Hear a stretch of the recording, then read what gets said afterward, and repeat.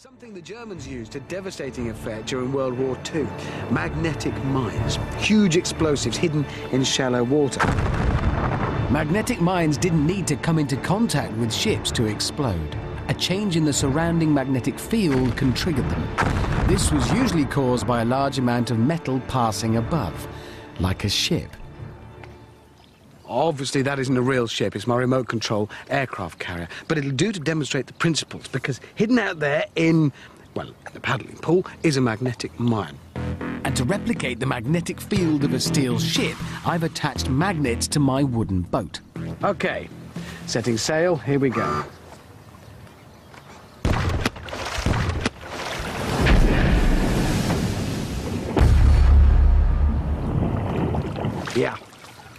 Magnetic mines really were a huge problem. Germany believed they were the secret weapon that would win the war. But before naval engineers could counter their threat, they had to figure out how the mines worked. Not easy when they were all submerged. And then the Navy got lucky. A mine was spotted as it was parachuted down into the Thames. This was it, the Navy's big chance to unlock the secrets behind Hitler's deadly weapon. As the tide receded, one officer, armed with some hastily made non-magnetic tools, went in to defuse the deadly device. The mission was a success, and the magnetic fuse was rushed off to be x-rayed. By the next day, the Navy experts had cracked it, and their solution took inspiration from a most unlikely source, the induction loop hearing aid. In 1937, Russian telephone engineer Joseph Poliakoff developed a new way to help the hard of hearing, the very first induction loop hearing system.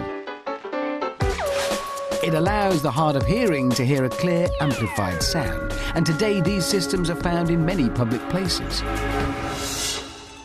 The principle is based on the relationship between electricity and magnetism. A microphone converts sound into an electrical current. That electrical current is then passed through a coil of wire. The current naturally creates a magnetic field. This is an induction loop. Any receiving coil positioned within that magnetic field will transform the field back into a matching electrical current.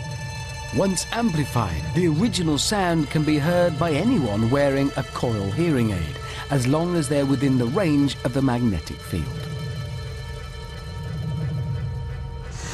How can something designed to improve hearing stop the mines from exploding? Well, it can't. It doesn't. What it does instead is make the whole ship disappear. To mines, at least, and that's the important thing. Alistair Ballantyne is an electrical engineer, and he's going to show me exactly what happens on a ship. That is now replicating a giant aircraft carrier, a big metal ship moving across a magnetic mine. Brilliant, we can see what's happening. How do you stop it? When a current passes through a coil, it generates a magnetic field. So to counter the magnetic field generated by the magnets, all we need is a coil with current going through it. It's the same principle that Poliakoff used in his induction loop hearing aid system. It creates our very own magnetic field. But to make the ship disappear to magnetic mines, the key is to create a field that cancels out the ship's natural one. So all we have to do now is put a, a, an electric current through your coil. Yes. Generate that magnetic field, and wham! It won't actually become invisible in front of us, because uh, if we could do that, We'd it'll, it'll just be invisible to your magnetic sensor down there, Yes. or more importantly, to your magnetic mine. All steel ships have a natural magnetic signature, which can be measured during sea trials. Once this is known, engineers pass a current through coils inside the ship's hull to create an opposing magnetic field. This neutralizes the signature, and the ship becomes magnetically invisible. Down here, deep in the hull, a 200 amp current is generated and sent out along coils running right around the ship. And I hope it'll work on my model carrier too. How confident are you that it works? Very confident. Really? Well, yeah. Well, I have not only another ship, I have another mine.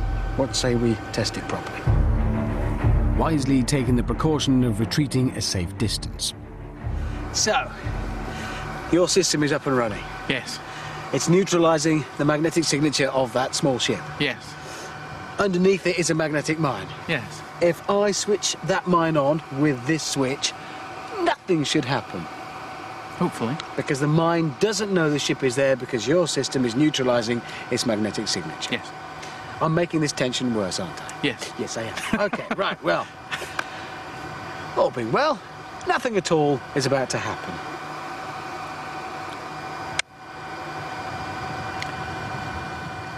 Now that is just this system neutralizing the magnetic signature of that ship so it's not triggering the mine. Yes.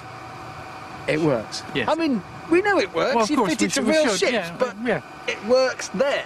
Yes. We should just to prove the point. Shall we turn it off? If we were to switch your system off, all of a sudden the ship would have a magnetic signature again, and it would trigger the mine. Yes. Turn it off. You can do it on a count of three. Three, two, one.